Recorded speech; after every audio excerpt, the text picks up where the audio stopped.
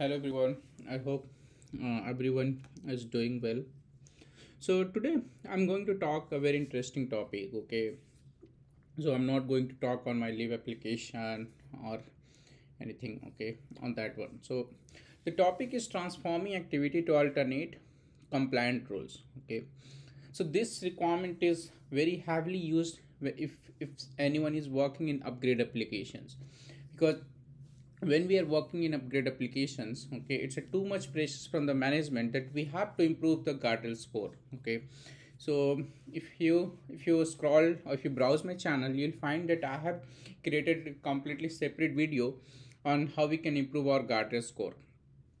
So just a, to extensions to that one today we're talking how we can transform activity because if you're upgrading or even if you're rewriting or you, like uh, you're writing your code freshly or if you and if you have not updated your skills too much what happens that i am seeing that either people are not unable to convert activity to alternate compliant rules okay uh, or they're still writing activity for few of the things okay. So today i'll i'll focus on those things only that how we can transform or how we can write alternate roles okay even i asked this question from many of the folks in interview also and they're unable to answer it okay? Because if you see in any applications which was developed in 6.x or 7. Dot, even 7.x okay people have used activity even for property set okay? And the common usage is let's say that you have a drop down okay? Earlier people have used dynamic select so if you have a drop down people have used activity or for anything okay? For a simple okay if you let's say you want to browse some data and you want to do a looping like after getting a data you want to uh, do a looping you want to do some page remove or if you want to update um, the page list. So those kind of things okay for for those kind of things people have used heavily activity okay. Even for obj save also okay even today also i'm, I'm seeing that many of the uh, the folks okay in 8.x also the, the moment they are thinking okay i need any obj methods they're simply going and writing activity. But no we can avoid that okay? So let's see that okay? I'll just take a, a common activity. Let's let's I'll, I'll take a very common activity and we'll see how we can transform that. So let's say you have activity. What what all things that activity is doing? So that activity is doing obj browse okay?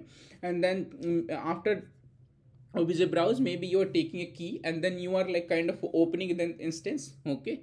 After looping okay? After getting that after doing obj browse you are looping that okay? And after looping looping you are getting a key okay? And then again you are going and doing obj open okay? Obj open my handle and then uh, on that data okay either you want to do obj save or you want to do obj delete okay if you want to do obj save maybe in that you want to do commit or you want to do commit uh, like obj save with right now. So these kind of things you do you need to do.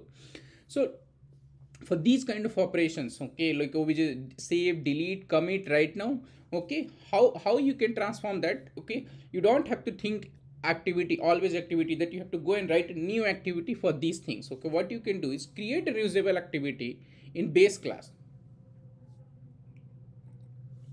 to handle the all db operations okay with a blank step page. So if you watch my video again i'm talking about that one uh, I've explained completely that how we can do that okay with the complete blank so that it, it can work on any page. So in that way what will happen so let's say you are writing one activity for all these operations okay with the parameter. Let's say um, uh, save uh, like param dot save param dot delete param dot commit param dot right now.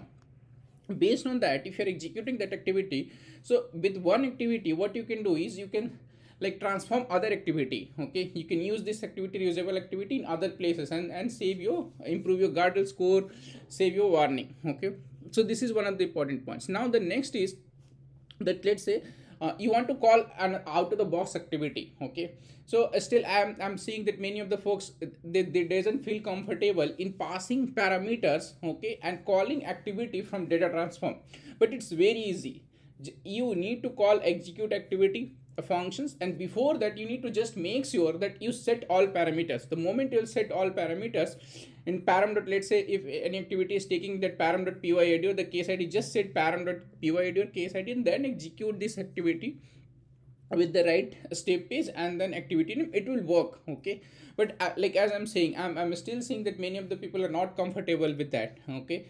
And they're still going and writing activity. So you don't need to okay the next thing is that connect methods okay? So even eh, like eh, you are working on your upgrades okay? If you if you're getting a push from your management that you need to increase your guardrail score what you can do is you can remove all connects methods and create a data page. Data page for all external services okay? And then you can use the data page in your data transform okay? So earlier let's say you have a implementation layer activity which is calling a frame like um, integration layer activity and then in that in that integration selectivity you are calling connect soap or connect rest whatever.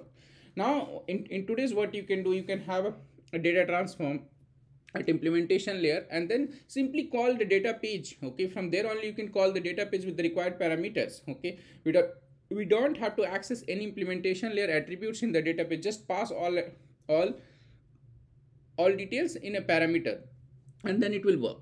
The next thing is that if let's say if you want to do a page new then you can do update page. If you have a java functions if you have a java written in activity you can write functions okay and and these are the operations which we which we find in in data transforms. If you see simply we can we can uh, use this. If you are using page remove in your activity you can use here page remove.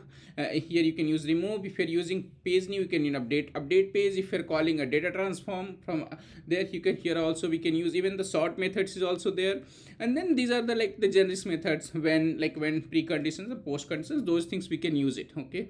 Looping is also there. Append is there. So if you just try to okay do that okay with the data transform yes you can easily achieve it okay. So that is what like today uh, uh, like today's session is that how we can transform that.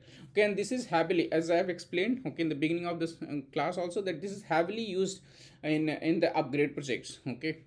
So try that okay so uh, i don't think like if you if like with these alternatives i i don't think any of the activity will not be able to transform to compliant rules okay. Yes i agree that still you need activity in few of the places like if you're using using job scheduler or you're writing queue processor but with these steps you can definitely limit your activity or if you're working on upgrade projects you can uh, replace your activity with the data transform uh, database report definition etc okay. So yeah that's it for today's class. This is a very small uh, session. So i hope this will help you. And if you're upgrade if you're if you're walking upgrade definitely watch this video uh, like completely from um, beginning to end. This will definitely help you. Okay. And if you guys are liking my content uh, do subscribe my channel. So thank you. Thank you very much. Have a good day